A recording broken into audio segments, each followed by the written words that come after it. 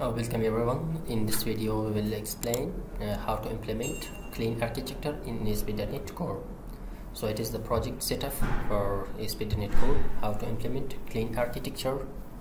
So first I will come to the theory, just I will show this diagram to you. Okay, so in this diagram we have these layers, domain, application, infrastructure and framework are uh, presentation layer so first we will come to the domain layer. What we will do in the domain layer?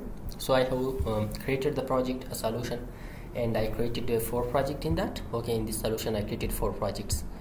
The application the domain infrastructure and also this is the web presentation layer. Okay?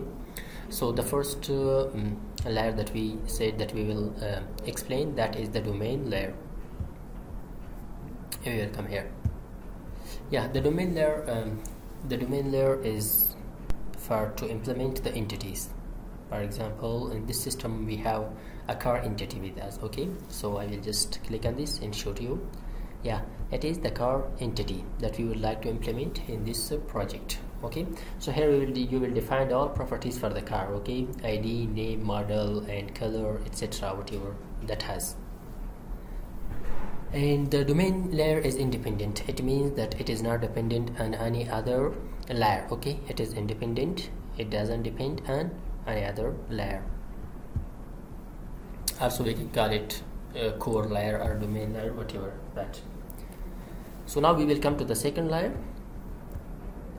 Yeah the second layer is the application layer. The application layer is dependent on domain. What we will do in the application layer I will come here. Yeah. In application layer we have interfaces. Okay? So the first uh, one for example I have created iCar repository. Okay? This is an interface with us. In this interface we are just it this interface is for um, to access the data. Okay? It is for accessing the data. It is for data access layer. Okay? It it will be implemented in the data layer for in the infrastructure layer. Okay? We just defined it. We just uh, declared the functions here okay? And uh, we will implement these in infrastructure layer okay?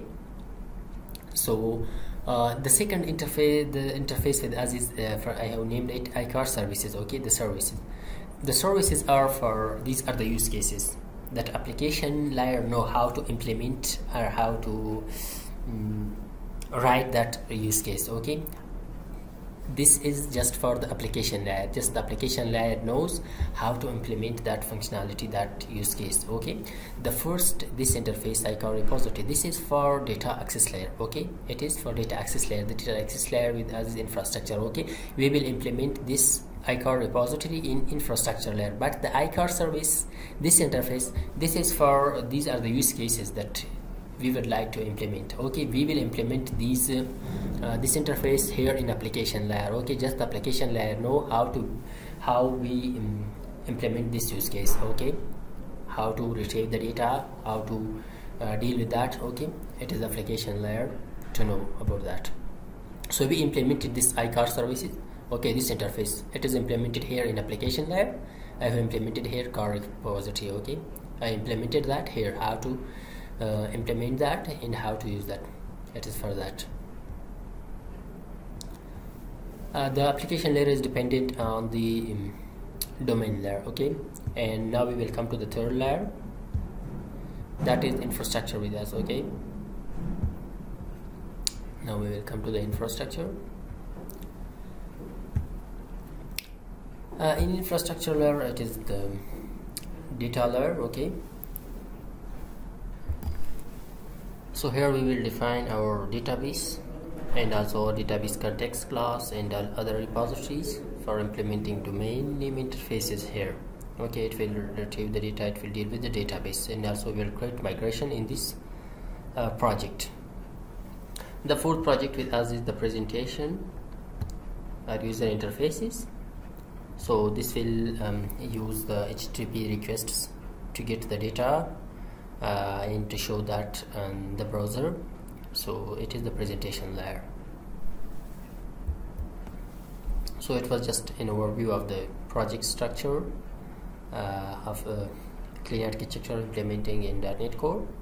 So in next videos we will implement uh, clean architecture and we will create an example for that.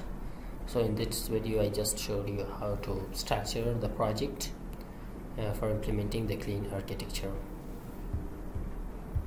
so if, you like the video so please subscribe our youtube channel. And thanks for watching